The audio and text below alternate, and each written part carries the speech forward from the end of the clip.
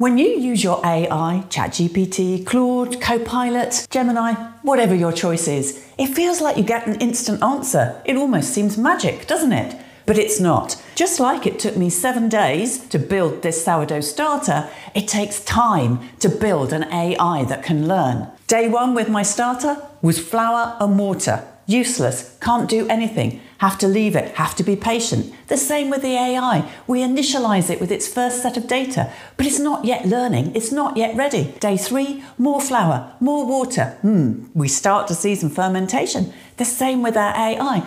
The various training cycles we put it through help it to learn. By day seven with my sourdough starter, it's fermenting, it's bubbly, it's ready to make bread rise. In the same way that once we've taken our machine learning AI through enough training cycles, it's ready to learn. Bake sourdough with me. Watch the full episode to understand how this starters machine learning in a jar.